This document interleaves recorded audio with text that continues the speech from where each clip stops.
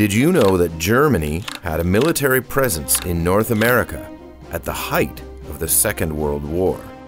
It was far from a full blown invasion, but in 1943, German forces of the Nazi regime did set foot on what is now Canadian soil on the rugged coast of Labrador. At the time, Newfoundland and Labrador were still a British dominion. They only became a province in 1949. But they were definitely not interested in an alliance with Germany. Germany, however, was interested in Labrador, specifically its weather. German U boats were tasked with sinking enemy war and supply ships in the North Atlantic Ocean. They knew that these battles were dependent on the weather. In order for them to gain any advantage that they could, both German and Allied forces set up weather balloons and stations all over the North Atlantic. But weather systems over the North Atlantic primarily moved from west to east. This gave the Allies, who had control over North America, Greenland, and Iceland, a massive advantage over the Germans. German forces set up special remotely operating weather stations known as Wetterfunkgerät Land, or WFL, in Greenland and Russia. Fortunately, these weather stations didn't last long and were quickly destroyed or dismantled, which created massive problems for the Germans at sea.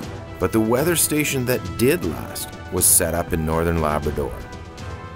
A crew left Germany in September of 1943 in a submarine, U 537.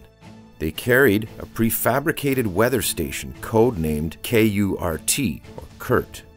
They traveled for over a month across the Atlantic until they reached the treacherous shores of Labrador. Eventually reaching Martin Bay on October 22, 1943, they anchored. The crew then transferred all the weather station materials from the U boat to a rubber dinghy and traveled to the shore. There they set up KURT, 365 meters inland on a 53 meter high hill.